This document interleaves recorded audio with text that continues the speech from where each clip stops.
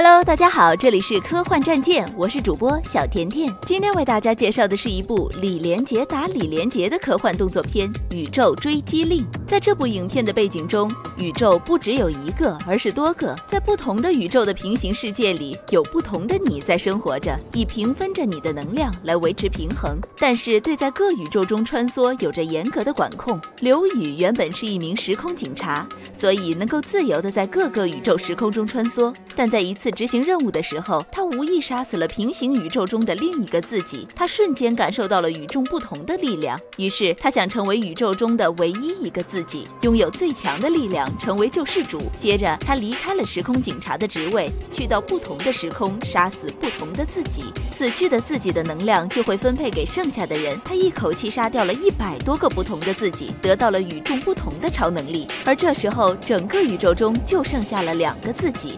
同时，他也遭到了时空警察大黑和杰森的追捕。大黑和杰森合力把他抓住。法官准备将刘宇流放到罪犯星球，但在这时，他竟然得到一个神秘女子的帮助，让他挣脱了牢笼，打倒了在场的所有警察，逃了出去。此时，刘宇已经接近无敌状态。他利用时空传送器来到地球，准备杀掉地球上的最后一个自己。地球上的李连杰名叫盖布，是一名正义的洛杉矶警察。盖布正在执行任务，突然感应到了危险，成功发现了藏在管道里的刘宇，看到了一模一样的自己。盖布非常震惊。就在刘宇要杀死盖布的时候，时空警察大黑和杰森出现，救下了盖布。随后，盖布将自己看到相同的自己这件事告诉了妻子。妻子以为是他出现了幻觉，并要求他做个身体检查。就在检查的时候，刘宇突然出现了，大黑和杰森也紧随其来到医院。两方开始了枪战。刘宇打死了冲进来的警察之后逃跑了，这让警察们都认为是盖布杀了人，准备逮捕盖布。百口莫辩的盖布只能用手铐将众人扣下，而不相信盖布杀人的妻子也帮助他逃离现场。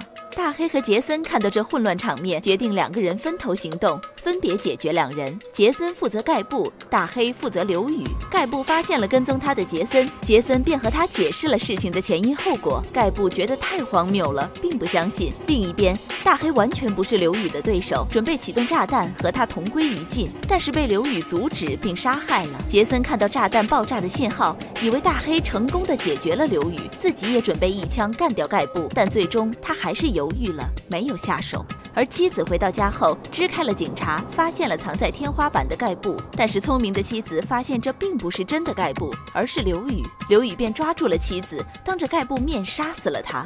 还嫁祸给了盖布，失去了妻子的盖布伤心欲绝。此时杰森出现，带走了盖布，并告诉他一小时之后有虫洞出现，刘宇肯定也会去那里。于是他们来到了虫洞出现的地点，但刘宇将二人引到了一个死胡同，并启动了炸弹。虽然他们机智似的躲过了一劫，但爆炸过后盖布却不见了。此时杰森却不巧碰上了刘宇，无奈两个人实力悬殊太大，杰森没一会儿就被打趴了。这时候，盖布出现了，两人进行了一番搏斗。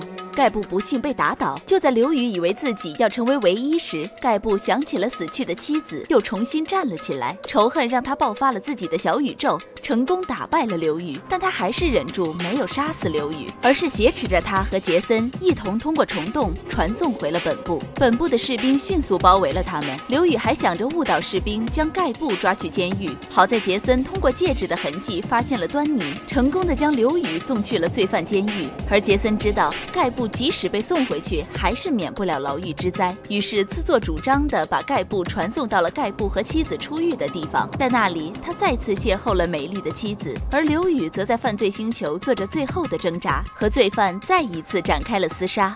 好了，今天的电影就介绍到这里。喜欢科幻的小伙伴们，别忘了随手点赞和关注科幻战舰，每天为你送上精彩科幻电影。我们下期见。